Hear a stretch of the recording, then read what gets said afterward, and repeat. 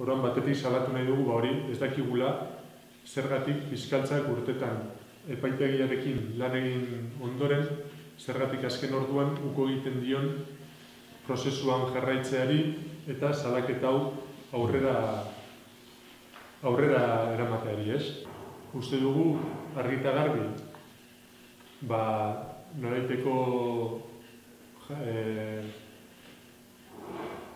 Antonen eh, onura bilatu egin zela eta gure zalantza nagusia da hori, baki gaur egun inortzo bere ez duela diruriko paritzen eta orduan Antoni dirua oparitu eman baldin bazitzaion jakine genuke zergatik. Gero bestetik, ba, bueno, zalantzak ditugu ere, e, udaletxeak salaketan parte hartu zuelako, baina alde batetik ez dakigu, e, ez daukagu argi, zein puntutara ino, ba, babesten duen epaitegiaren e, jarrera, e, guztia, planteamentu guztia babesten dituen, edo ez.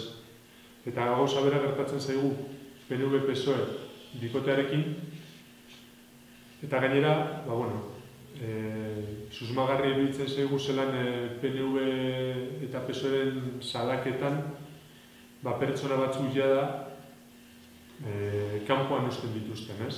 Ardurak izan dituzten PPko pertsona batzu kanpoan usten dituzten. Eta, bueno, e, bestetik, salatu nahi dugu ere udaletxeak, e, Alonsoren garaian bezala, ba, informazio bukatu digula, berriro ere, kasu hontan, informazio eskatu dugunean, alokairua e, eraikin hortan egin ziren obrei buruzko galderak egin ditugunean, kopuruak, zelan ordendu ziren, eta bat.